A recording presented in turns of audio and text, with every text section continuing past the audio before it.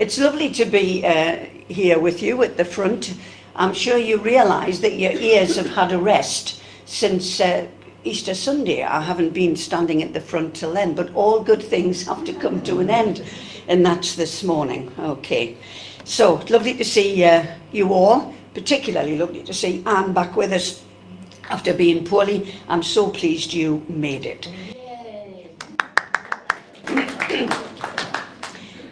Psalm 30, uh, I'll get it right in a minute, 93 says this The Lord reigns, he is robed in majesty. The Lord is robed in majesty and armed with strength. The world is firmly established, it cannot be moved. Your throne was established long ago.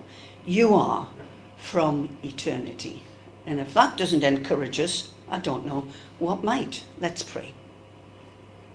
Merciful God, we come to meet with you, and worthy as we are. And we just ask that you would help us to rejoice afresh in your love and everything that you do. Sovereign God, we ask that you would draw us to yourself so that our service might be sincere and our commitment true. Living Lord, our faith is sometimes so weak but your blessings are ever new. Accept the worship we offer to you today and bless us in Jesus' name. Amen.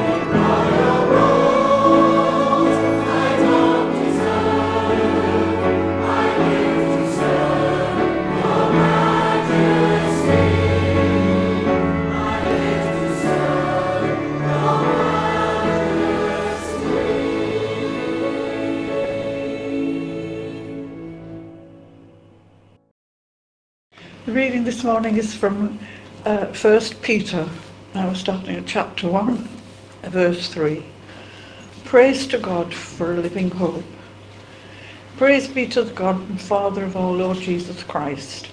In his great mercy, he has given us new birth into a living hope through the resurrection of Jesus Christ from the dead, and into an inheritance that can never perish, spoil, or fade kept in heaven for you who, through faith, are shielded by God's power until the coming of salvation that is ready to be revealed in the last time.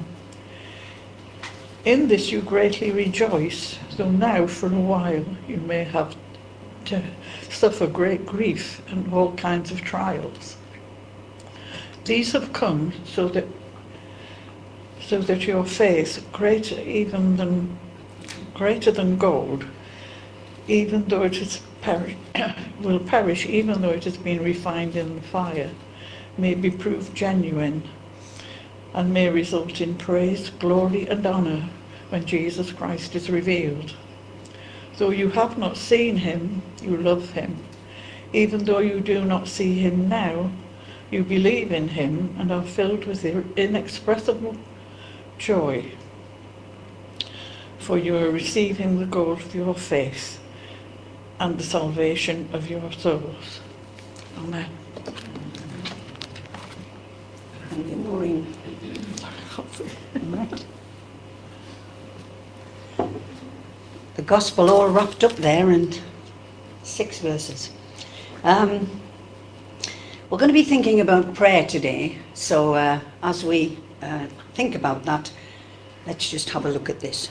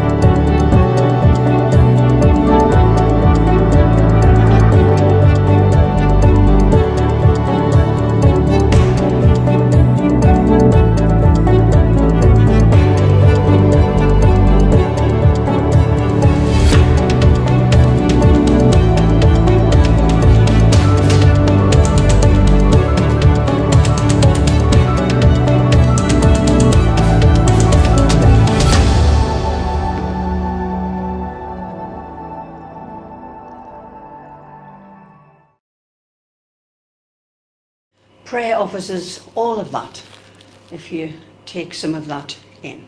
We're going to stand again to sing, and it's the uh, Sutton Coldfield Baptist Church who are going to uh, play for us. Uh, Strength will rise as we wait upon the Lord, and after that, Ben's going to bring our intercessory prayers. Let's stand to sing.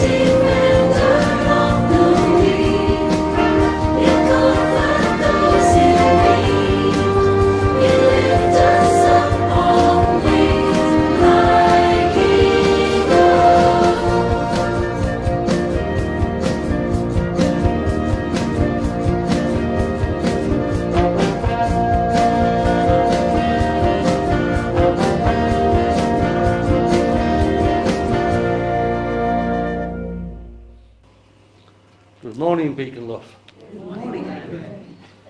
The writer of Hebrews says, Let us therefore approach the throne of grace with boldness, that we may receive mercy and find grace to help in time of need.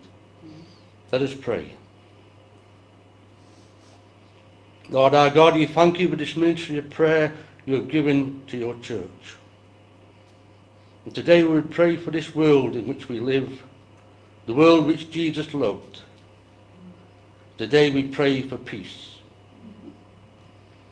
Lord Jesus, we ask that you pour your peace upon our stricken world, that the power of the Holy Spirit would quench the pride, anger, fear and distrust which sets people against people and causes nations to war with each other.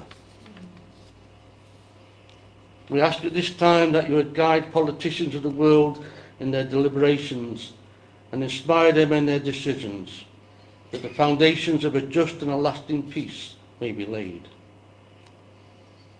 We pray for peace in countries at war with one another, remembering especially Ukraine and Russia. We ask that you break down the barriers of fear and mistrust that divide nations and individuals.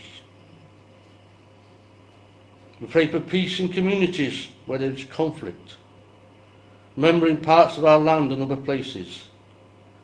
We would ask that you calm the troubled minds of people in our land and in other places.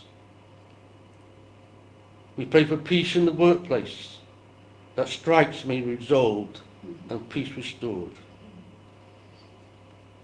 We pray now for the church worldwide. We pray for peace within your church between denominations, churches and individuals. And we ask that you make us all one in mind and heart that the world may believe. And we pray that every member of the church may be truly and humbly serve you, that the life of Christ may be revealed in us. We pray for peace for those who have no peace, those who are burdened by guilt or regret, those struggling with illness and sorrow, those in troubled relationships who live in conflict with family, friends and neighbours. We pray that we may have peace within ourselves, a peace in our daily life. We ask that pride, intolerance, resentment, hurt feelings will no longer break our peace. We'd ask you to enable us to be less worried about ourselves and our own way, and that your peace would reign in our hearts. That you make us channels of your peace, where love, pardon, hope, and light would flow. Jesus said in John 14, 27, Peace I leave with you, my peace I give unto you. Not as the world giveth, give I unto you.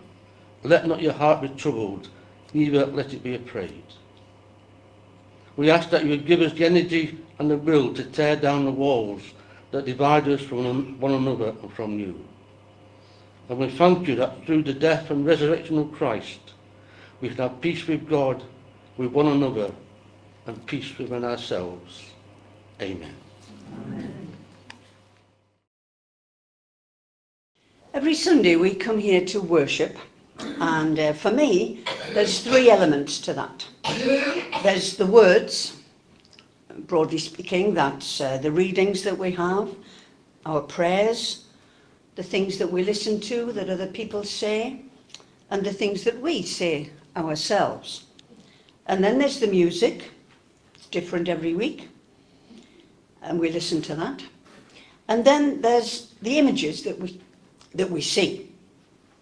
And different people that lead our services blend those elements in different ways, but then that becomes our worship service together.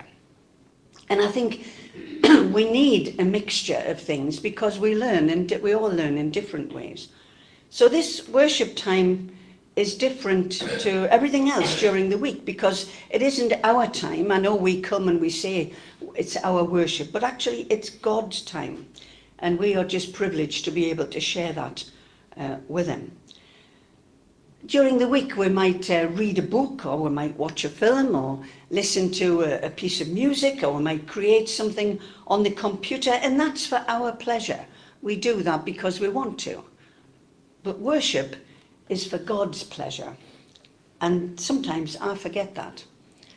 And uh, really, the, this morning is all about me trying to refocus, rejig, rethink, and hopefully you'll get something from it as well. So I wanted to kind of refocus my mind and hopefully yours, because sometimes if we watch a film or we read a book, sometimes we get a lump in our throat or we get a tear in our eye if it kind of moves us. And yet sometimes I feel I can come to church and I can be worshipping in the presence of Almighty God, and yet somehow I can go home unaffected. And it kind of made me think, well, that's, that's not right. Because it's not God's fault, it's our fault. It's my fault if I can't worship Him because He hasn't moved away, it's me. We're not just missing out personally, I think. Um, we're disappointing God because uh, He wants to be the centre of everything that we do. And so I was drawn to the basic language of faith, really, used in the passage that Maureen read, that shapes us as Christians and uh, gives us hope. The passage that Maureen read said, it talks about praising God the Father and Jesus Christ for their great mercy and the new life that we have through Jesus' birth, his life, his death, and his resurrection. And that's the very basis, isn't it, of our Christian salvation faith. And it, it tells us that we have a, an inheritance that won't ever change. And it also reminded us that we have God's shielding power around it. It's all great truth. And we can rejoice in that. And I hope we have rejoiced in some of the words that we've been thinking about already. But verse 6 timely reminds us that we can temporarily suffer trials and difficulties. And we've all been there and we've all done that, I know. Sometimes those difficulties are personal.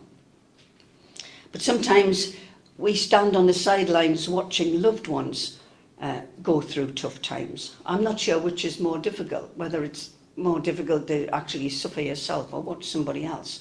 But armed with the power and the truth of those first few verses, we can get through and we do get through. It's happened time and time again, hasn't it, over the years, in our own physical families, but also in our church family here, that drastic situations force us to turn our eyes upon Jesus and place us um, at God's mercy, really. And of course, sometimes our loving God that we trust so much issues really hard answers that we struggle with. And we've all been there, I know. There's a few things recently that have brought me up a bit abruptly. No more than uh, Peter Kerridge's situation.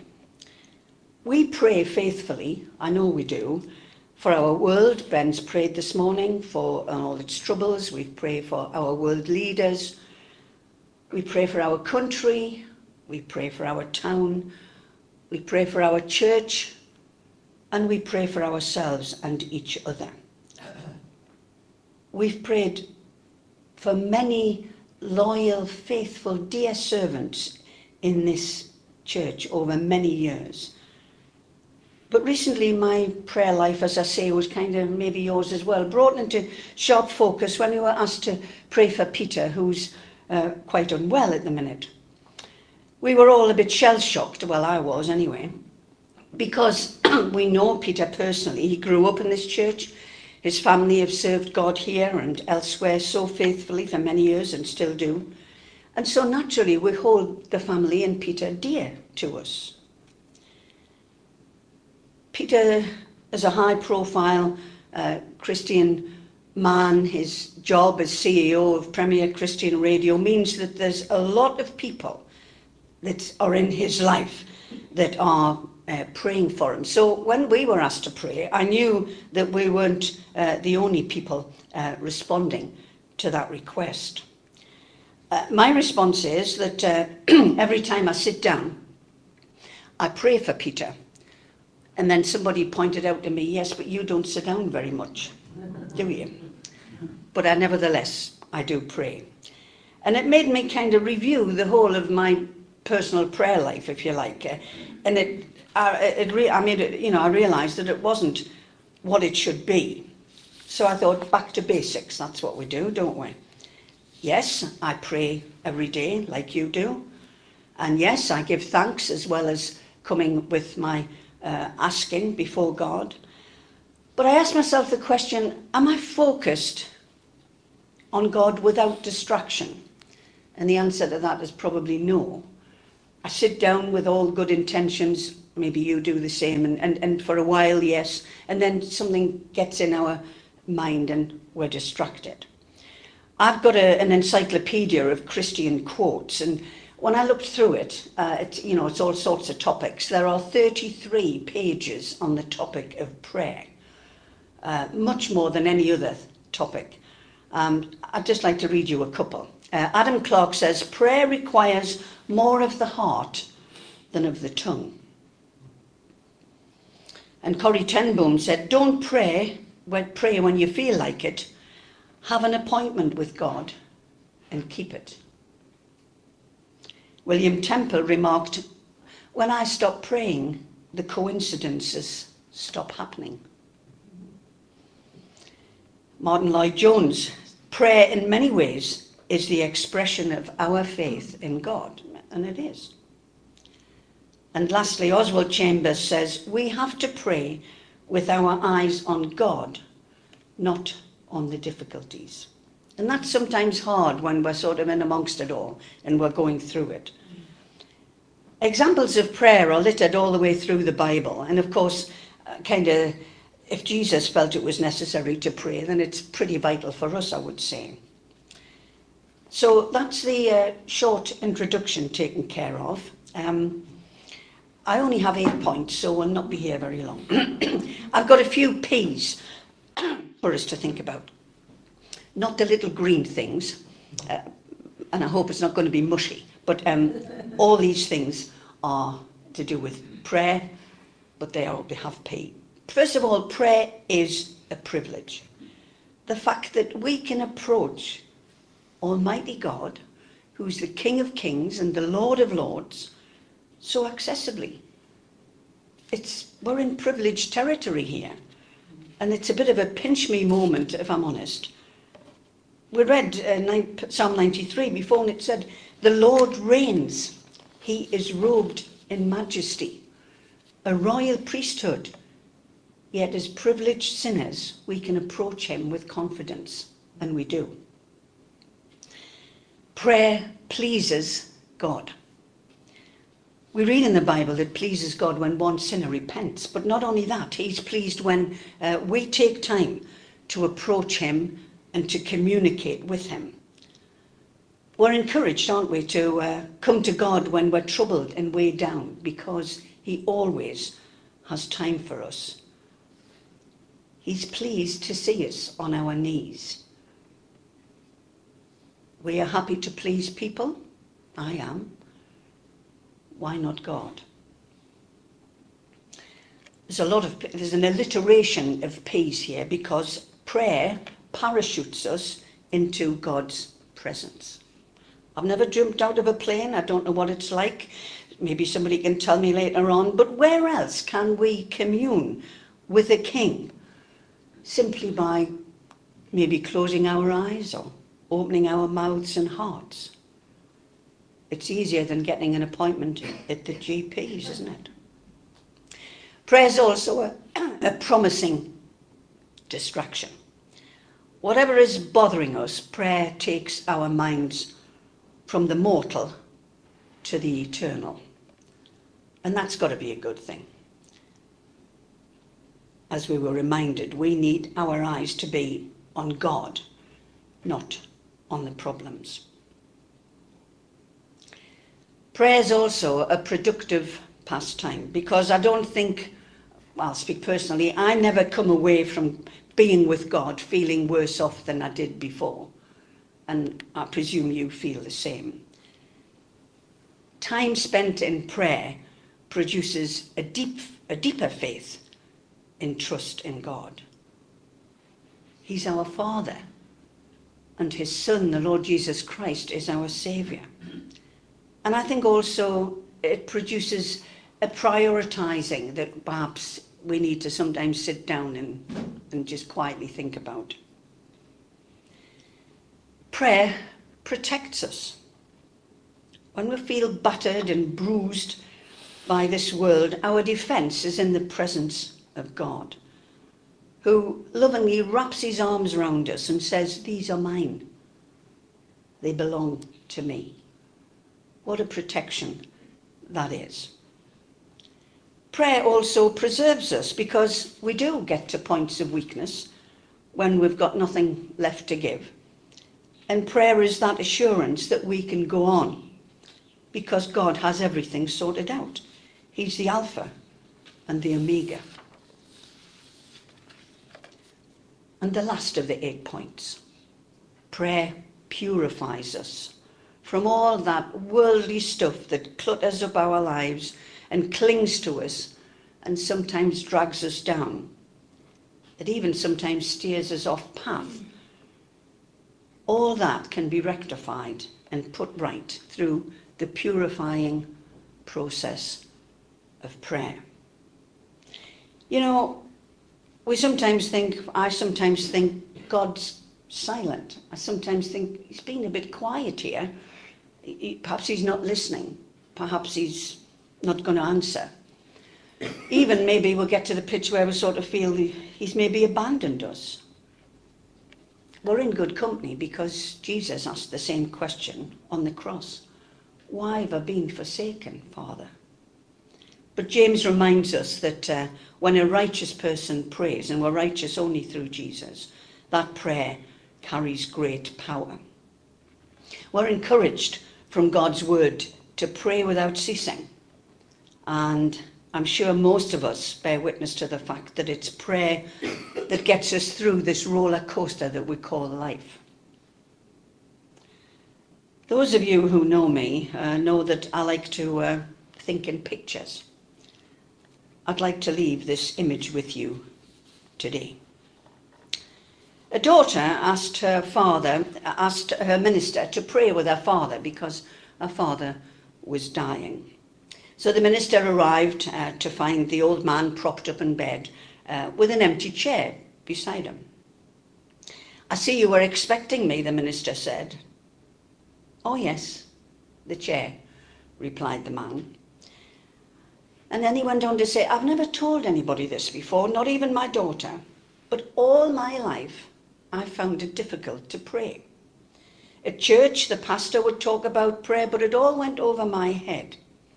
And then about four years ago, my good friend said, Johnny, praying is simply talking to Jesus. Try this.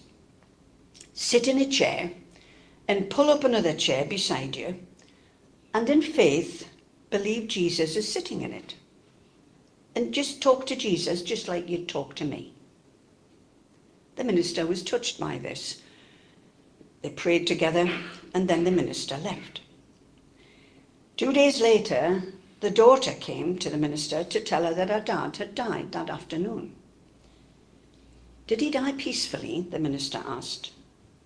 And she said, Yes, although I wasn't there. But when I came home, there was something a bit strange.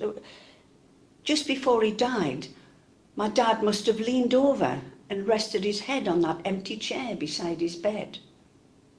I don't know why. We pray, as we reminded ourselves at the start, because the Lord reigns. He has got it all sorted. And so it is well with our souls. And that's our closing hymn. When peace like a river, uh, it is well with my soul because of the peace of prayer. It's time to sing.